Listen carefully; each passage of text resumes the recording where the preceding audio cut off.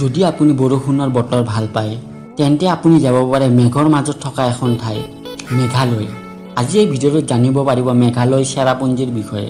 চেৰাপুঞ্জী কেনেকৈ যাব চেৰাপুঞ্জী কেতিয়া যাব চেৰাপুঞ্জীত ষ্টে কৰিবৰ কাৰণে কি কি অপশ্যন আছে তাত গৈ চাব লগা প্লেচবোৰ কি কি তাত খোৱা লোৱাৰ অপশ্যন কি সকলো ইনফৰমেশ্যন এই ভিডিঅ'টোত গম পাব। সকলো ইনফৰমেশ্যন এই ভিডিঅ'টোত গম পাব। গতিকে যদি আপুনি চেৰাপুঞ্জী যোৱা প্লেন কৰি আছে এই ভিডিঅ'টো স্কিপ নকৰি সম্পূৰ্ণ চাব। আপুনি যদি চেৰাপুঞ্জী বেলেগ ৰাজ্যৰ পৰা আহি আছে তেন্তে আহিবৰ কাৰণে দুটা অপশ্যন আছে ট্ৰেইন আৰু প্লেন যদি আপুনি প্লেনেৰে আহিব বিচাৰে তেন্তে চেৰাপুঞ্জী নিয়াৰেষ্ট প্লেন এয়াৰপৰ্ট হৈছে শ্বিলং। কিন্তু শ্বিলঙলৈ আপুনি সকলো টাইমতে প্লেন নাপায়। সেইকাৰণে আপুনি প্লেনেৰে আহিলে গুৱাহাটী এয়াৰপৰ্টলৈ আহিব লাগিব। গুৱাহাটী এয়াৰপৰ্টৰ পৰা চেৰাপুঞ্জীলৈ দূৰত্ব প্ৰায় ওৱান ছিক্সটি নাইন কিলোমিটাৰ। এই ওৱান ছিক্সটি নাইন কিলোমিটাৰ আপুনি গুৱাহাটী এয়াৰপৰ্টৰ পৰা আপুনি শ্বেয়াৰ টেক্সি বা প্ৰাইভেট টেক্সি লৈ চেৰাপুঞ্জীলৈ যাব পাৰিব। শ্বেয়াৰ টেক্সিৰ চাৰ্জ লোৱা হয় পাৰ হেড ফাইভ হাণ্ড্ৰেড ৰুপিছৰ পৰা ছিক্স হাণ্ড্ৰেড ৰুপিছলৈ আৰু প্ৰাইভেট টেক্সি বুক কৰিলে আপুনি ফাইভ থাউজেণ্ড ৰুপিছ দিব লাগিব। আপুনি যদি ট্ৰেইনেৰে আহিব বিচাৰে তেন্তে চেৰাপুঞ্জী নিয়াৰেষ্ট ট্ৰেইন ষ্টেচন হৈছে গুৱাহাটী পল্টন বজাৰ ৰেলৱে ষ্টেচন আৰু ইয়াৰ ৰেলৱে ষ্টেচনৰ পৰা আপুনি ইজিলি শ্বেয়াৰ টেক্সি আৰু প্ৰাইভেট টেক্সি বাছ চেৰাপুঞ্জীলৈ পাই যাব। এতিয়া চেৰাপুঞ্জী পোৱাৰ পিছত আপুনি ক'ত ষ্টে কৰিব? চেৰাপুঞ্জীত ষ্টে কৰিবৰ কাৰণে আপুনি হোমষ্টে বা ৰিজৰ্ট ল'ব পাৰে তাত হোটেলৰ অপশ্যন অলপ কম আছে।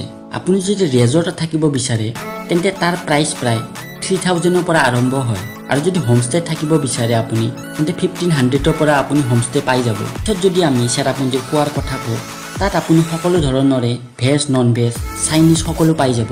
ইয়াত এখন এভাৰেজ থালিৰ প্ৰাইচ হয় প্ৰায় ওৱান ফিফটি ৰুপিজ গতিকে ইয়াত গৈ আপুনি খোৱা লোৱাৰ কাৰণে কোনো অসুবিধা নাপায়। এতিয়া জানি লওঁ চেৰাপুঞ্জী পোৱাৰ পিছত তাত কি কি ঠাই চাব? তাত ভিজিট কৰিবলগীয়া প্লেচবোৰ হৈছে। ফাৰ্ষ্ট আপুনি যাব পাৰে নকালিকাই ৱাটাৰফল এই ৱাটাৰফলটো দেখাত বহুত ধুনীয়া হয়। আৰু এইটো পৃথিৱীৰ চাৰি নম্বৰ ওখ ঠাইৰ পৰা পৰা ৱাটাৰফল হয়। ইয়াৰ নেক্সট আপুনি যাব পাৰে ছেভেন ছিষ্টাৰ ৱাটাৰফল এই ৱাটাৰফলটো দেখাত বহুত ধুনীয়া হয়। এই ৱাটাৰফলটো সাতটা ভাগৰ ওপৰৰ পৰা পৰে। সেইকাৰণে এই ৱাটাৰফলটো ছেভেন ছিষ্টাৰ ৱাটাৰফল বুলি কোৱা হয়। এই ৱাটাৰফলটো চাব বিভিন্ন ধৰণৰ টুৰিষ্ট তালৈ যায়। আৰু এই ৱাটাৰফলটো চেৰাপুঞ্জীৰ পৰা প্ৰায় ফ'ৰ কিলোমিটাৰ ডিষ্টেঞ্চত আছে। ইয়াৰ পিছত আপুনি যাব পাৰে চেৰাপুঞ্জীৰ সকলোতকৈ famous double decker living root ব্ৰিজত এই ৰুট ব্ৰিজখন জংঘলৰ মাজত থকা গছৰ শিপাৰে বনোৱা ব্ৰিজ হয়। এই ব্ৰিজ দেখি সকলোৱে আচৰিত হয় যদি আপুনি এইখন ব্ৰিজ চোৱা প্লেনিং কৰি আছে। তেন্তে আপুনি পাহাৰৰ পৰা প্ৰায় তিনি হাজাৰতকৈ বেছি চিৰি তললৈ নামি যাব লাগিব। আৰু এই ব্ৰিজখন চাব গ'লে দিনৰ প্ৰায় আধা সময় এই ব্ৰিজখন চাবৰ কাৰণে গুচি যায়। ইয়াৰ নেক্সট আপুনি যাব পাৰে চেৰাপুঞ্জীৰ পৰা প্ৰায় ছিক্স কিলোমিটাৰ ডিষ্টেঞ্চত থকা মাৱাছমাই কেভ এই কেভটো দেখাত বহুত আচৰিত আৰু অদ্ভুত হয়। কেভটোৰ গঠন প্ৰণালী দেখি আপুনি বহুত আচৰিত হ'ব। গতিকে চেৰাপুঞ্জী গ'লে এই ৰহস্যময় কেভটোত যাব নাপাহৰিব। তাৰ নেক্সট আপুনি যাব পাৰে চেৰাপুঞ্জীৰ ইক' পাৰ্কত। ইক' পাৰ্ক চেৰাপুঞ্জীৰ এখন ধুনীয়া পাৰ্ক হয়। এই পাৰ্কখন লগত পিকনিক স্পটো হয়। এই পাৰ্কখনত গৈ আপুনি কিছু কোৱালিটি টাইম স্পেণ্ড কৰিব পাৰিব।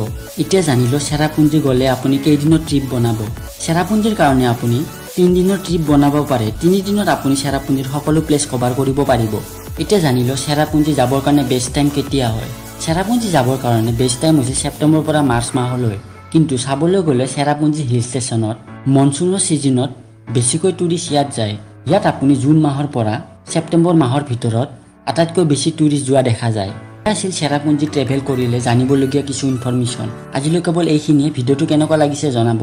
যদি এনেকুৱা ধৰণৰ ট্ৰেভেল ইনফৰমেশ্যনৰ ভিডিঅ' চাই ভাল পায় তেন্তে আহিবলগীয়া ভিডিঅ'বোৰ চাবৰ কাৰণে চেনেলটো লাইক শ্বেয়াৰ আৰু ছাবস্ক্ৰাইব কৰি দিব।